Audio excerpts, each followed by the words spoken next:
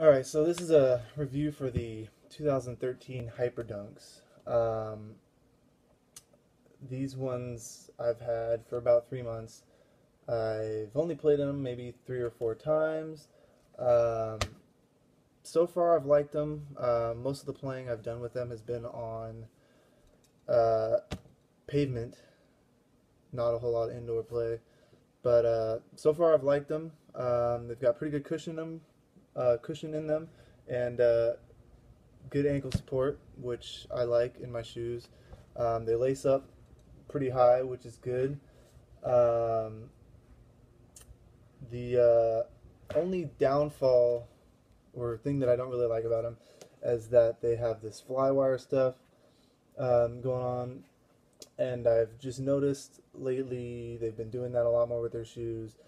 Um, they just they lace it up and enter they incorporate it into their part of the eyelet here, which I don't really like because um, on some of the other shoes I've had with that, uh, they tend to break really easily, which is stupid. I mean, like within the first month or so that I have them, um, just because of this sawing motion that you get when I tighten up my shoes. I mean, I like my shoes really tight, and I'm a bigger guy and I'm pretty tough on my shoes. So I don't know, maybe different for you, but uh, I mean, you can just see right there. I mean, if you do that 500 times and you're just sawing on that fly wire and you're, the sweat and everything, it just frays and it's shitty and annoying.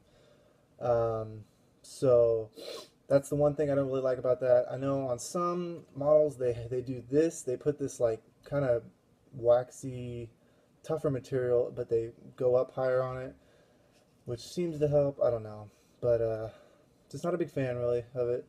Uh, I know on some of their older models they've done just plastic.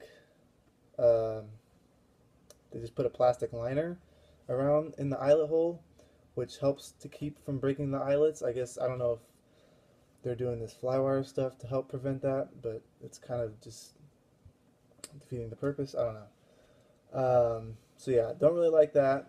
But um, like I said, I've only played in these ones like four or five times, so I don't know how they're going to hold up um, in the long run.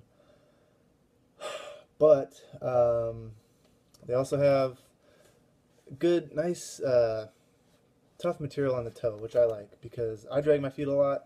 Um, and uh, I know on some of their other model, other shoes, they have this, and uh, it's held up pretty well. That's another thing I think they've been doing well is um, designing the toe better to withstand uh, what, what the hell is that? To withstand toe dragging. So I like that. Um, one thing I don't really like so far is these tend to run a little big, uh, a little long, um, but width-wise they're pretty good. Um, I wear a size 13 and I've got a pretty wide foot. Um, these guys like I said, they run a little long, which is kind of annoying. I don't know. Um, usually in the LeBrons, I wear 13s, and um, they're a little small. So Nike's just been doing some weird stuff with their shoes lately. I don't know why they do that. Uh, one of my other videos, I compared this one with like the 10s, the LeBron 10s, I believe, and it was like a 14. The LeBron was a 14, and this is a 13, and they're like almost the exact same size. So uh, yeah, these guys they run a little long for a 13, um, but it hasn't really. I mean, hasn't really made a difference so far. But uh, and I like my shoes a little on the short side. But uh, other than that, I mean, so far so good. I'll probably do another video here at the end of the term, so like in two or three months, once I get some more playing time on, in on them, and uh, I will post another video um, just to show how well they've held up and what uh, what else I think of them.